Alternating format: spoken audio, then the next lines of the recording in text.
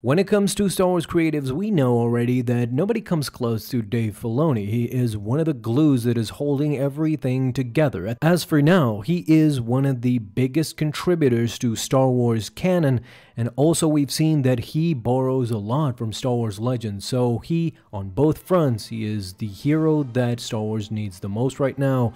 And in a recent interview, he went on to talk a lot more about not only what we've seen, but what we are about to see. We also talked a lot about a Clone Rebellion show and what that would look like. He talked on the Josh Horowitz interview that he is already finished the intro scene, the beginning scene of his movie, the Mandalorian movie. He went in depth about a lot of things, but one of the biggest things to come out of that interview is him talking about essentially what is known as the retcons we've seen from the comics to the animated versions to the animated shows and now his movies too, even in the live action ones with Ahsoka, we've seen that things, tidbits are being shuffled and moved around. More notably, we remember in the Bad Batch season opener where the Kanan Jarrus story is kind of shuffled.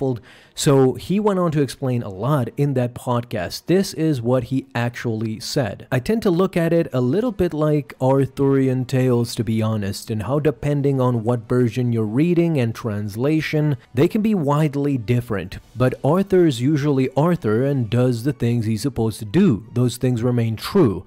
And that's very much folktale and fairy tale type of ideology. If we tell a story in animation, or if it's in a comic, and then we bring it to the screen in a different way, we might make changes to it out of the medium, out of the bias of the person making it, but it should still maintain the heart and the important moments of what people liked about that story. He is clearly talking about maintaining George's vision true. What George Lucas created was magnificent, and Dave Filoni is the one, the protege, to actually continue the canon moving along. We talked about Kanan Jarrus, how it was changed a little bit. Also, we see that with Thrawn, things are changed a bit, but borrowed from Legends too. There are a lot of elements in there, and it seems that Dave Filoni is trying to maintain everything, as I said, the glue holding everything together, albeit with some tidbits here and there. And this is why I'm hopeful for the Captain Rex story, because even after Rebels,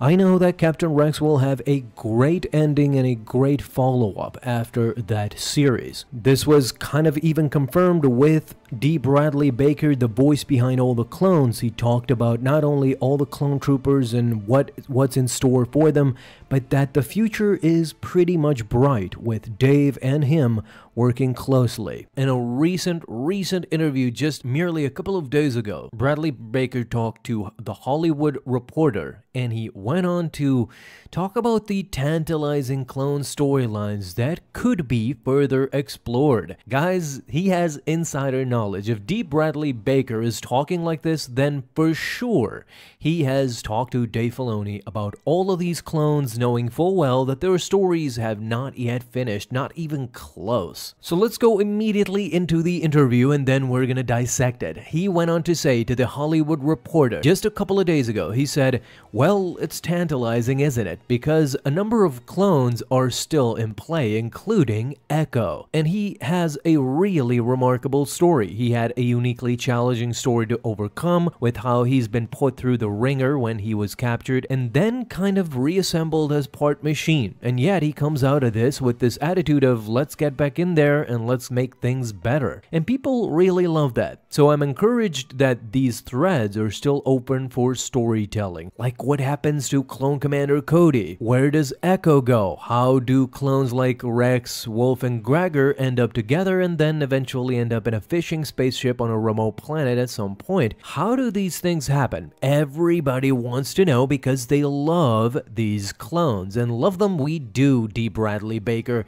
And you might be jumping up and down with joy because he didn't just talk about Echo, he talked about Echo mostly, but he also mentioned, as you noticed, Commander Cody.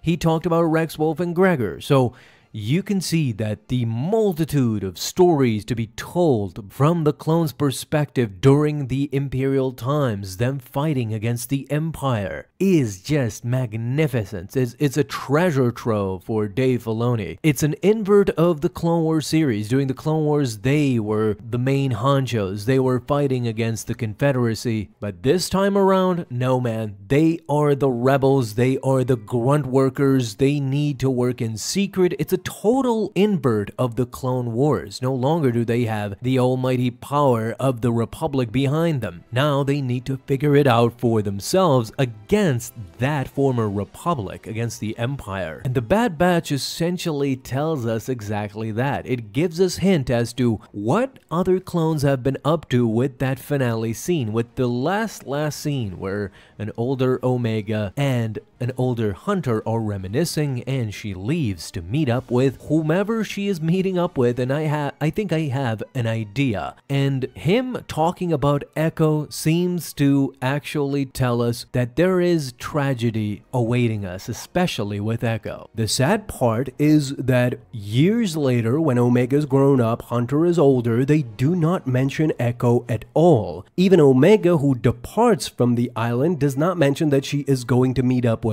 Echo or whatever. She only mentions Wrecker and Crosshair. So we know Wrecker and Crosshair are alive. We know Hunter and Omega are alive, but Echo is not mentioned all these years later. To make matters worse, Echo is nowhere to be seen in Star Wars Rebels, where Rex, Wolffe, and Gregor are now older and meet up with Ahsoka, meet up with Kanan Jarrus, Ezra, and the rebellion is essentially starting to ramp up. So does this actually mean that Echo is dead? He is not mentioned in the finale in the final moments of the Bad Batch.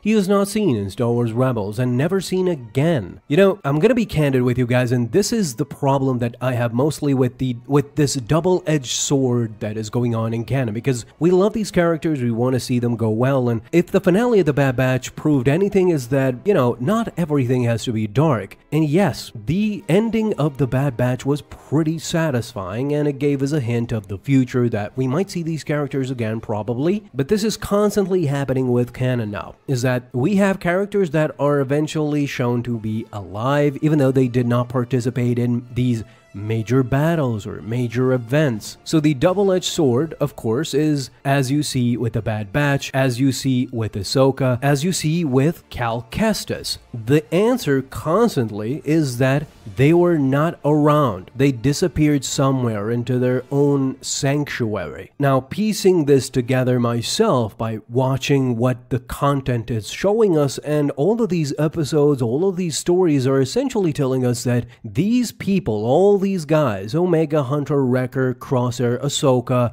Cal Kestis, all these people who we do not see in the original trilogy, who we do not see in other materials pertaining to the Imperial times, they were so traumatized by the Empire that, that they just chose to completely absolve themselves, run away, and not participate in either rebellion activities go up against the Empire. They just gave up. This is why we appreciate, of course, somebody like Captain Rex, who actively fought the Empire as we see during the Bad Batch. Then he, he made a comeback in Star Wars Rebels, and depending on what you want to believe, he even participated in the Battle of Endor.